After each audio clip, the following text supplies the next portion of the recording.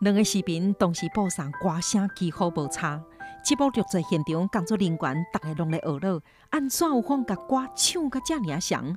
许多多秘密就是假听，一遍搁一遍录音，甲原唱进行对比，无放过任何细节。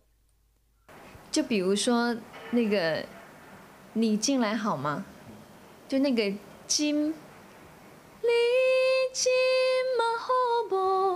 我当时录的时候，就是那个“金”的那个齿音，我可能很多人就是都会有学闽南语会有这个，就那个齿音会发的特别重，“你金”太过重的话，又感觉又不太对，所以他的那个就是分寸感的拿捏，其实是是很细很细的。声甲专业毕业了，许多多正做一位职业歌手，同时也从事音乐教育工作。唱歌已经正做伊的生活。回忆起囡仔时听到第一条歌，就是闽南语歌曲。就是从我很小的时候，呃，我的外婆抱在怀里的时候，就是唱一些非常具有代表性的、很经典的，像《天黑黑》T O O 啊这样的歌曲。从我长大一点点开始。那个时候应该是闽南语歌曲是最蓬勃的时期，应该非常经典的歌大家都听过，就像这个《爱拼才会赢》，爱拼啊加赢啊，还有《欢喜就好》啊，《欢喜就好》。你看我的口音就会稍微有点不太一样。八九十年代闽南语歌曲，甲许多多留了真深的印象，伊爱听嘛爱唱。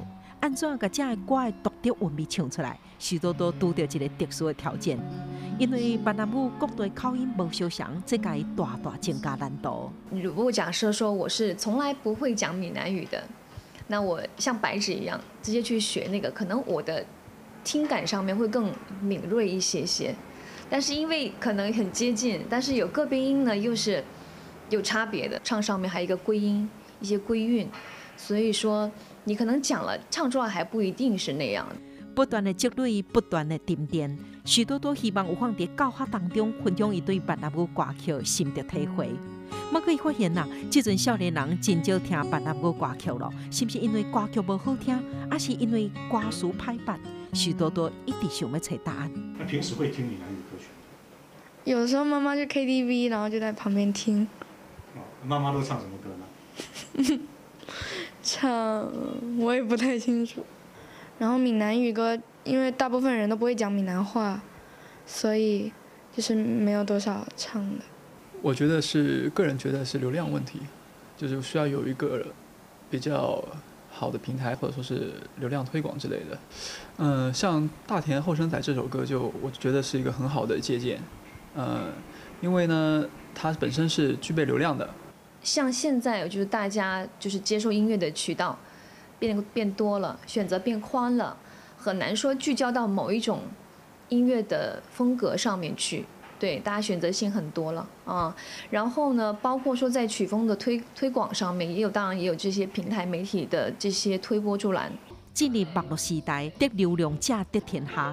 要搁回归爱这条歌本质，首先应该是这条歌的好听。就每一个。时代，我们的音乐审美在发展的时候，哦，我们都应该可以有有新的不同的元素加入进去。其实这样会更加符合当下，因为我们在讲说年轻人就是喜欢闽南语多吗？